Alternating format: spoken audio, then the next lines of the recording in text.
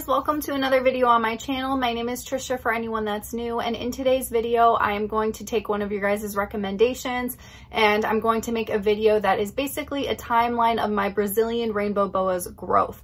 So Bowie is my Brazilian rainbow boa. I've had her for, it's going to be four years this August or September. So basically I just wanted to show you guys like the differences and like how long it took her to grow because the first two years were just like really, really slow and she wasn't really growing much at all. The babies are significantly smaller than the adults and the past two years she has grown a ton since then. I don't know if she's fully grown at this point. I think she's pretty close. She might get a little bit thicker, maybe a little bit longer, but she pretty much is almost at that point of just full grown. So I think that it would be a perfect time to do this video because a lot of you guys just want to see the growth process because it is very interesting with this species.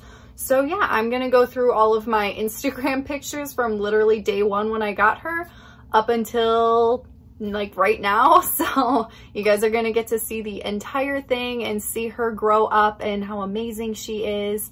So, and if you guys have any Brazilian rainbow boa questions, feel free to ask them and I will get to all of your questions in the comments.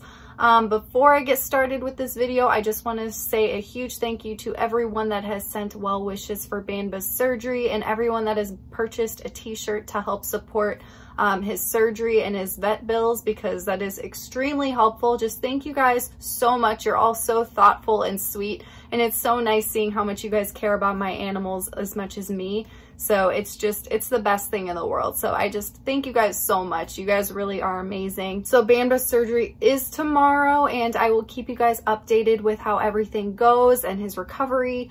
Um, the injections everyone keeps asking about, they've been going really well. Um, he seems to get really angry when I like grasp his head because I have to like secure him so he doesn't bite me while I do it.